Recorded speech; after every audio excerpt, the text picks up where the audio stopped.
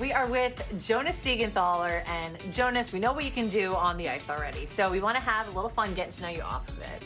I got about 50 questions here for you, and we're just going to rattle through them rapid fire. You can expand or not, whatever you want to do. All right. You ready? Yeah, I'm ready. Okay. Where is your favorite road city? Uh, Florida. Yeah. Sunshine. Yeah. Who is your favorite athlete outside of hockey? Uh, we'll go with Roger Federer. Favorite time of the year? Winter and summer. Okay. favorite actor or actress? I go with Adam Sandler's. Okay. Any pregame superstitions for you?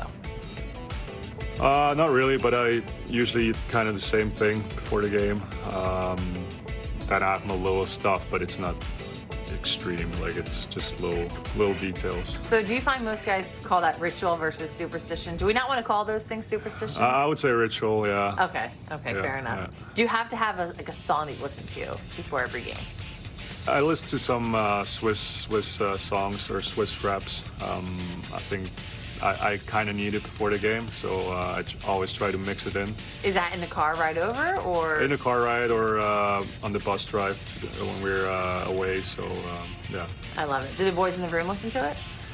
No, no, no. I mean, Nico's a DJ. He Yeah. possibly could do Yeah. it, but uh, he he always puts on uh, like uh, English music. Okay. Well, you let the captain know that he- he needs to take charge there.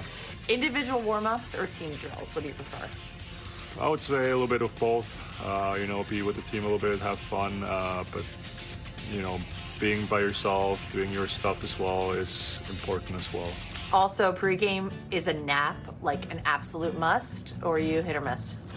Uh, it depends how I feel. Uh, sometimes I nap a little longer. Sometimes I nap like 30 minutes. Uh, there's days I don't nap at all. So it always depends how I feel on the day. What about after the game? Do you have like a, a post-game meal or snack that you love to have? I like to snack popcorn, you know, sit in front of the TV, but uh, I, I don't have like any uh, special snacks that I only eat. We're talking a little bit about food. What's the best meal that you can cook? Anything I can cook, you know. I think it's pretty easy, and I think it's it's fun to do as well. Um, I have like a great app, and you can choose your meals, and they tell you all the ingredients, and then you just follow those steps, and uh, at the end, it turns out pretty well. I love it. What's your comfort food? You like that nice home cooked feel of, Uh, of being back home. I would say something Swiss. Um, I would probably go with fondue. Do you like waffles, pancakes, or French toast? Uh, I would go with pancakes, Sparkling or still water? both. As a defenseman, who is the toughest opponent that you've ever faced in your career?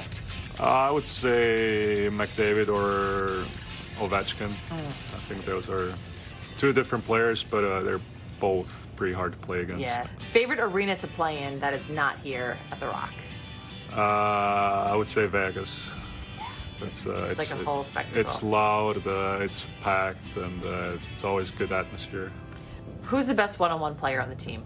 Jack, I think he's pretty skilled and shifty, and uh, yeah, I think that's yeah, I would go with Jack. Off ice, who's the funniest guy in the room? Uh, I'll go with uh, Bastian. Okay. He's uh, he's very funny.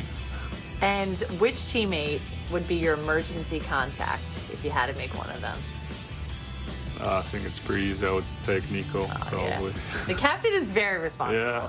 How would you describe this fan base overall? Uh, I would say One word.